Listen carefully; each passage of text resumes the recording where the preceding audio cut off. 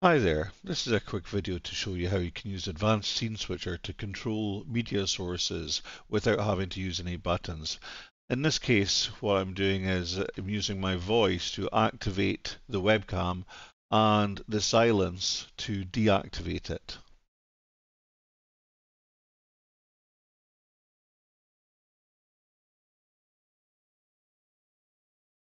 One of the things that you might actually notice once you've installed advanced scene switcher is that it doesn't show up where you usually expect them, you know, like a filter within one of the sources or scenes.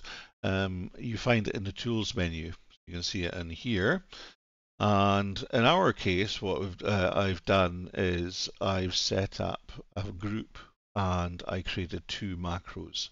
And the macros, which you can see uh, here, I've currently switched on the visual settings, which actually shows when it is likely to activate uh, any of these objects below. So all that we're asking it to do is if the audio from the microphone uh, has an output volume um, of minus 60 decibels and above, then activate. Now what we're seeing here, thanks to that setting that I've got in there, is that it is uh, identifying that we are over 60 decibels, so it would then continue on and uh, uh, activate these items here. But in the case that it has already done this, uh, we've got this tick box here. It says perform actions only if conditions change. So the, the conditions haven't changed, so we're not actually seeing these highlight down here. But if I give it a second or two, what will happen is that I will disappear from here saying that the other macro has activated and, and disabled the audio. And then the next time I speak, we'll actually see one of these highlight or both of these highlight in green. Now there are two here because there is uh, one which is the webcam itself, and one uh, I've got a second source which is the thing that's giving me that purple little border around my, my, my myself. Uh, so that's why you're actually seeing it activate two things. But you can have it activate or deactivate or do anything on as many sources if you want. But uh, so gameplay is the name of my scene. And what I'm asking it to do is show the webcam. And again, same scene, show the shadow cam. And that's all we're asking it to do. So if I'm quiet for two seconds,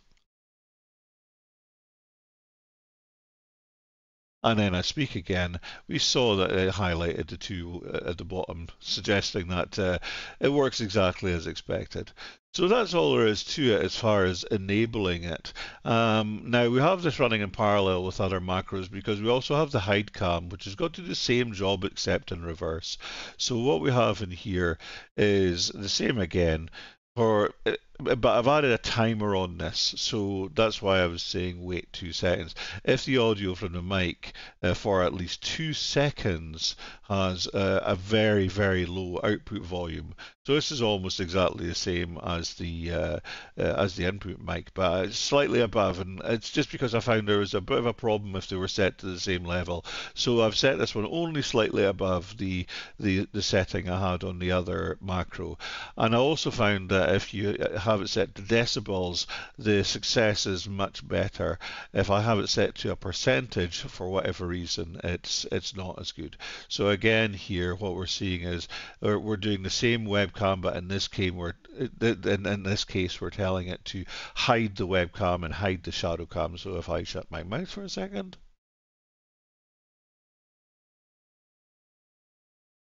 There we go.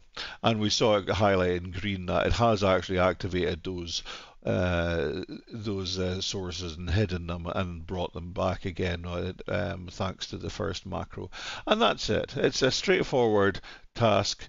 It's a great way for you to not have to worry about finding a button or finding a hotkey to uh, enable the uh, camera every time you want to speak.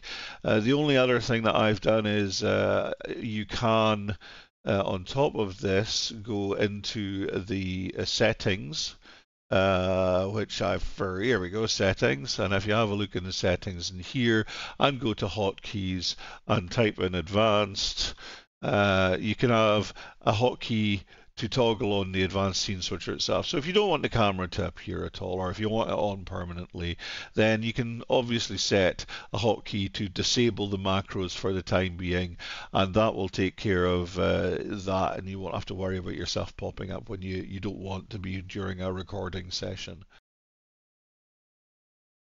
I hope that all made sense and I hope it's straightforward enough to, to follow. If there's actually a better way of doing this, please let me know. If there's a filter that does everything that I uh, explained there, I'm, I'm willing to give that a go. But the frustrating thing for me was that I couldn't see anything obvious like that. It's not very often that I actually worry about appearing on the camera myself, but I do actually like the idea of having the control to do so. And if I can avoid having to hunt for any buttons or look for uh, where on my desk my Stream Deck has slid to, then all the better.